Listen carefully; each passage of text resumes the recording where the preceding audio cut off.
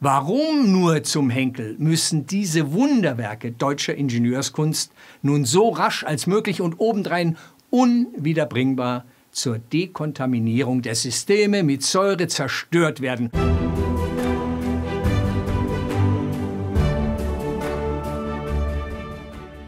Hallo und herzlich willkommen aus dem Bayerischen Landtag zu einer neuen Folge von Was zum Henkel. Dass eine Partei die bei einer Wahlbeteiligung von nur 76,6 Prozent bei der letzten Bundestagswahl, faktisch also gerade einmal von lediglich 12,25 Prozent der Wahlberechtigten tatsächlich gewählt worden ist, sich so aufführt, als habe sie das Alleinvertretungs-, nein, schlimmer noch, das Alleinbestimmungsrecht für dieses Land, das sehen und erfahren wir leidvoll Tag für Tag.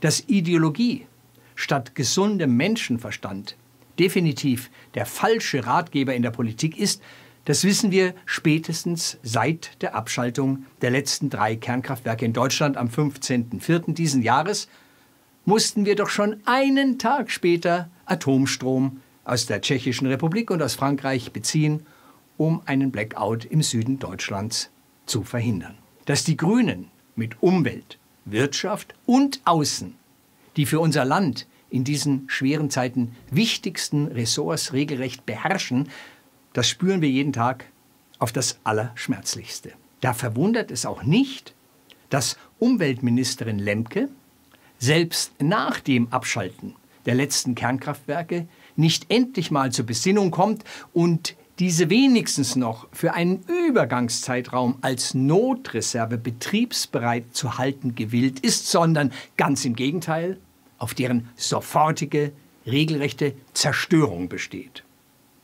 Und da frage ich mich schon, warum nur zum Henkel müssen diese Wunderwerke deutscher Ingenieurskunst nun so rasch als möglich und obendrein unwiederbringbar zur Dekontaminierung der Systeme mit Säure zerstört werden und muss hier Kanzler Scholz nicht unverzüglich intervenieren und diese komplett sinnlose Wüstenei notfalls unter Einsatz seiner Richtlinienkompetenz stoppen? Nun, die Antwort ist klar. Den Grünen, die, weil sie ja die Bürger in ihrem krankhaften Umweltwahn schon seit langem nicht mehr mitnehmen, ahnen bereits, dass das Wahlvolk ihnen 2024 ganz sicherlich keine zweite Legislatur zubilligen wird. Also versuchen sie nun so viel verbrannte Erde als irgend möglich zu hinterlassen, sprich alles zu unternehmen, um eine Umkehr durch eine demokratisch gewählte Nachfolgeregierung zu verhindern. Denn was zerstört ist, kann nun mal auch bei einem Gesinnungswandel oder gar einem Paradigmenwechsel in der Politik nicht mehr im wohlverstandenen Interesse des Landes eingesetzt werden. Dieses Kalkül ist aber nicht nur zutiefst undemokratisch, sondern es zeigt auch überdeutlich den erklärten Willen dieser Gurkentruppe, unser Land so rasch und so nachhaltig als irgend möglich an die Wand zu fahren und ideologiefreier Politik nicht die geringste Chance zuzugestehen.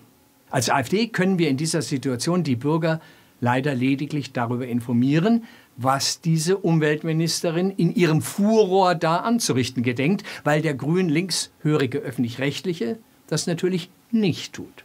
Weiter appellieren wir an die Menschen in diesem Lande, die grünen Deutschlandhasser endlich auf allen Ebenen abzuwählen und dafür der Stimme der Vernunft, also der AfD, eine Chance zu geben, mittelfristig die wahren Interessen der deutschen Bevölkerung in Regierungsmitverantwortung zu vertreten, wobei ich Ihnen guten Gewissens zusichern kann, schlechter als die Ampel kann es nun wirklich keine andere Regierungskonstellation mit unserem einst so großartigen Land meinen.